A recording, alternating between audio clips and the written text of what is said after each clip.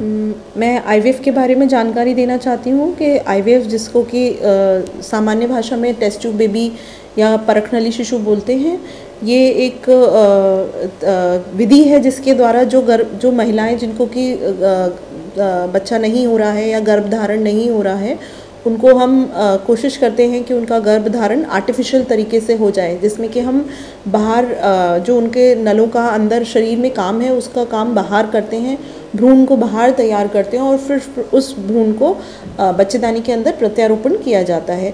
इस प्रक्रिया में ऐसी, ऐसा लोगों की भ्रांति है कि इसमें जैसे कि बच्चा किसी और का होता है या बच्चे में कोई डिफेक्ट होता है या महिला को आगे चल के कोई अन्य रोग हो सकता है, ये सब भ्रांतियाँ हैं। जितने भी बच्चे होते हैं बिल्कुल नॉर्मल होते हैं और मतलब जो हस्बैंड वाइफ है, उन्हीं के अंडाणु और शुक्राणु से मिलके बच्चा बनाया जाता है और उसी बच्चे को रखा जाता है। ये किसी और का ऐसे बच्चा नहीं होता है, आपका अपना जेनेटिक बच्चा होता है और इससे महिला को कोई नुकसान नहीं होता है। उनको कुछ हार्मोन्स के इंजेक्शन लगाए जाते हैं, जिनका कि असर उसी उसी केवल माहवारी वाली साइकिल में रहता है। उस साइकिल के बाद उनका असर ख़त्म हो जाता है। और जो बच्चा होता है वो भी बिल्कुल नॉर्मल होता है। मतलब पिछले बारह साल से हम आई वी यहाँ आगरा में कर रहे हैं और आईवीएफ करते करते करीबन पंद्रह सोलह साल से हम आईवीएफ कर रहे हैं। तो जो बच्चे आईवीएफ से पंद्रह सोलह साल के भी हो गए वो बिल्कुल नॉर्मल बच्चे हैं।